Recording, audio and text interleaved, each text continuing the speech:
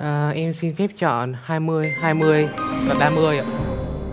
20, 20 và 30 đó là lựa chọn của Tiến Hải. Bây giờ hãy cùng xem nội dung của câu hỏi 20 điểm đầu tiên là gì. Núi Thới Lới và Giếng Tiền ở huyện đảo Lý Sơn, Quảng Ngãi là hai thắng cảnh tự nhiên minh chứng cho hoạt động địa chất nào từng xuất hiện ở nơi đây hàng triệu năm trước.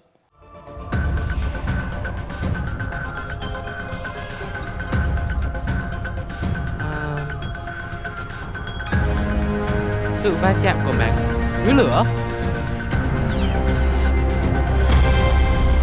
Chúng tôi đã nhận được câu trả lời cuối cùng của Tiến Hải, đó là núi lửa. Và đáp án này chính xác, xin chúc mừng Tiến Hải.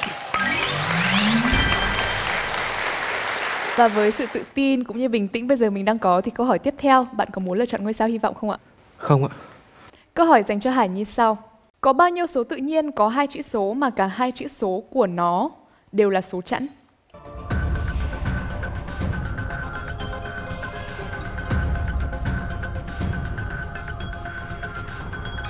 Hai mươi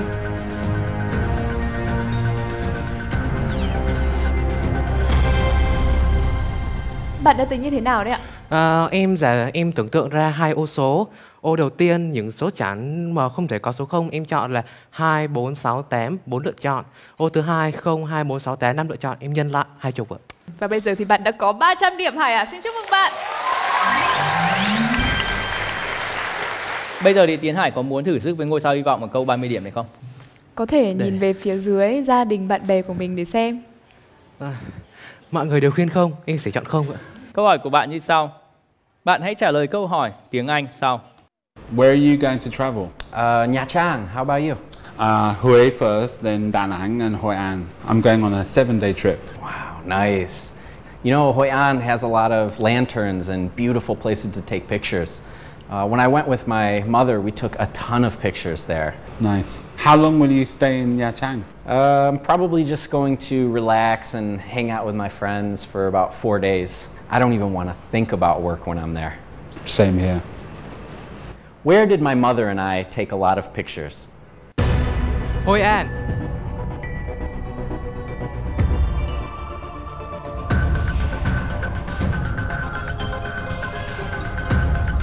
Hội An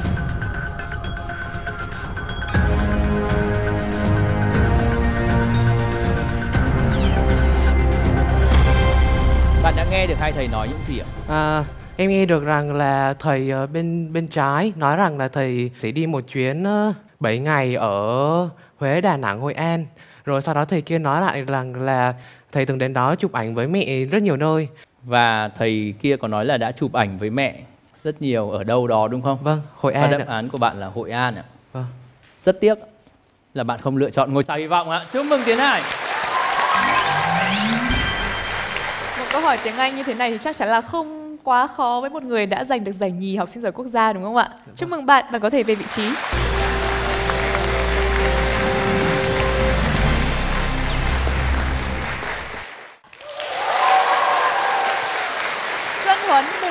Đạp đổ thách thức. Phía trước là ba câu hỏi. Xin mời bạn.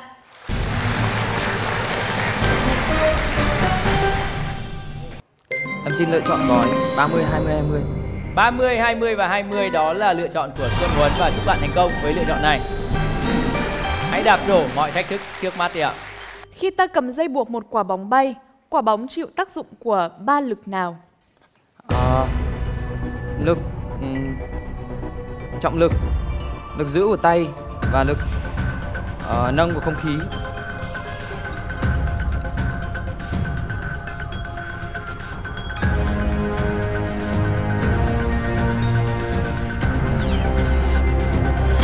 Đáp án chính xác trong câu hỏi này của chúng tôi đó là lực hút của trái đất, lực kéo của dây và lực đẩy của không khí lên trái bóng. Và đáp án của Xuân Huấn đưa ra được chấp nhận. Xin chúc mừng bạn đã có thêm điểm.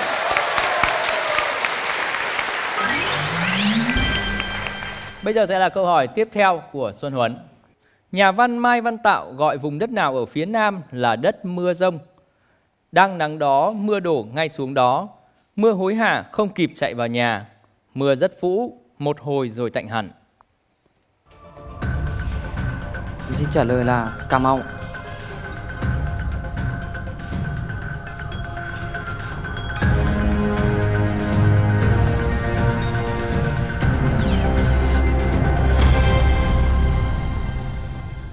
Mau. Dạ vâng. Vâng, và đó là câu trả lời chính xác. Xin chúc mừng Xuân Huấn. Câu này được trích trong tác phẩm Đất Cà Mau của nhà văn Mai Văn Tạo. Xuân Huấn đang có một phần thể hiện rất tốt. Chúng ta chỉ còn một câu hỏi nữa thôi trong phần thi về đích. Bạn có muốn lựa chọn ngôi sao hy vọng không ạ? Em không sử dụng ngôi sao hy vọng ạ. Câu hỏi dành cho Huấn như sau. Trên đồng cỏ nuôi bò vào mùa xuân, cỏ mọc dồi dào non tơ. Khi này, nhóm sinh vật nào khởi đầu chuỗi thức ăn chiếm ưu thế?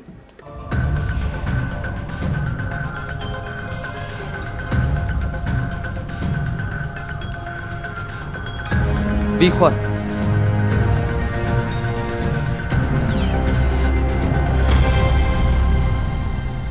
Cơ hội cho các bạn thí sinh còn lại. Vậy đó là Tiến Hải, xin mời bạn. Sinh vật phân giải mùn bẻ hữu cơ.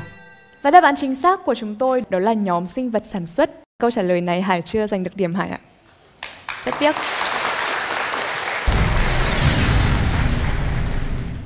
Cảm ơn Xuân Huấn và bạn có thể về vị trí nhé. Người tiếp theo đến với phần thi về đích đó chính là Minh Đức. Xin mời bạn.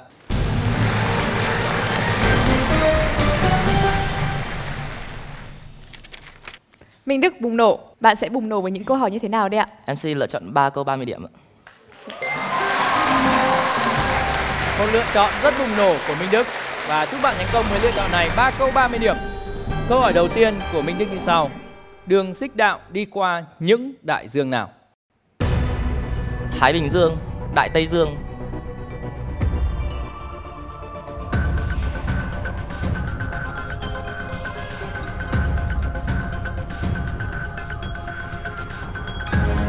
Thái Bình Dương, Đại Tây Dương và Ấn Độ Dương. Thái Bình Dương, Đại Tây Dương và bạn đã mất khá nhiều thời gian để nhớ ra thêm Ấn Độ Dương đúng không ạ? Chính xác, xin chúc mừng Minh Đức. Hãy cho chúng tôi biết khi nào bạn lựa chọn ngôi sao hy vọng nhé. Câu hỏi dành cho bạn như sau.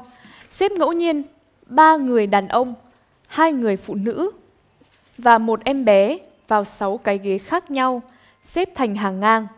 Hỏi có bao nhiêu cách xếp để em bé luôn ngồi giữa hai người phụ nữ? Em thưa anh chị là có 600 cách xếp.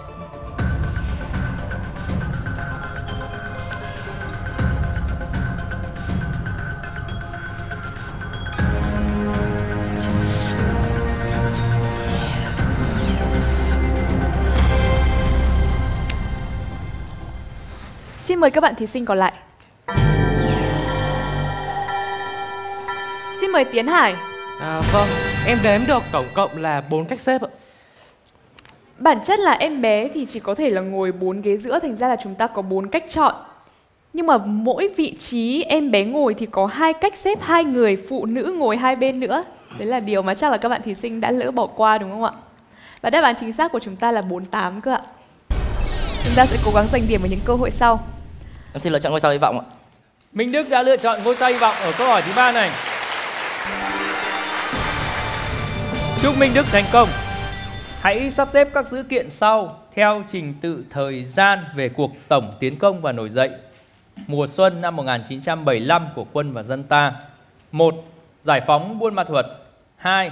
Giải phóng Huế 3. Giải phóng Đà Nẵng 4. Giải phóng Sài Gòn Giải phóng Đà Nẵng, giải phóng Huế, giải phóng Buôn Ma Thuột và giải phóng Sài Gòn ạ.